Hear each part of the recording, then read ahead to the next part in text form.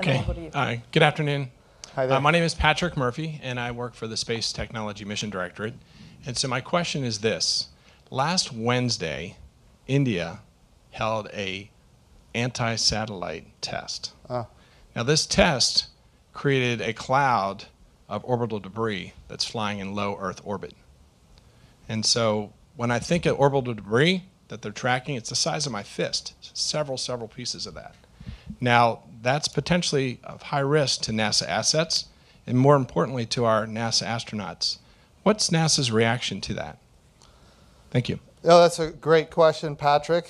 And uh, there, there's, um, this is a town hall in and of itself. Uh, it is absolutely true that intentionally creating orbital debris fields is not compatible with human spaceflight. Here's what we know about the most recent direct ascent anti satellite test that was done by India. We know that we have identified 400 pieces of orbital debris from that one event. That's what's been identified. Now, all of that cannot be tracked. What we are tracking right now, objects big enough to track, we're talking about 10 centimeters or bigger.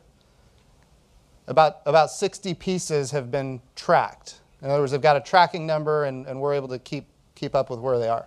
Of those 60, we know that 24 of them are going above the apogee of the International Space Station. That is a terrible, terrible thing to create an event that sends debris in an apogee that goes above the International Space Station. And that kind of activity is not compatible with the future of human spaceflight that we need to see have happen. We are charged with commercializing low Earth orbit. We are charged with enabling more activities in space than we've ever seen before for the purpose of benefiting the human condition, whether it's pharmaceuticals or printing human organs in 3D to save lives here on Earth, or manufacturing capabilities in space that aren't you're not able to do in a gravity well. Like all of those are placed at risk when these kind of events happen. And when one country does it, then other countries feel like they have to do it as well. So, Patrick, I'm with you. I get it. I understand it. It's unacceptable. And NASA needs to be very clear about what its impact to us is.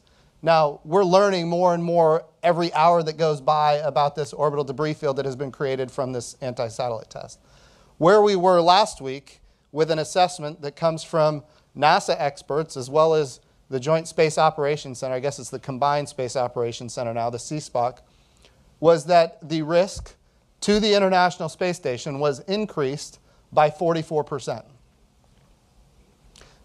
The risk, and the, I'm talking about small debris impact to the International Space Station, the risk went up 44% over a period of 10 days. So the good thing is, it's low enough in Earth orbit that over time, this will all dissipate.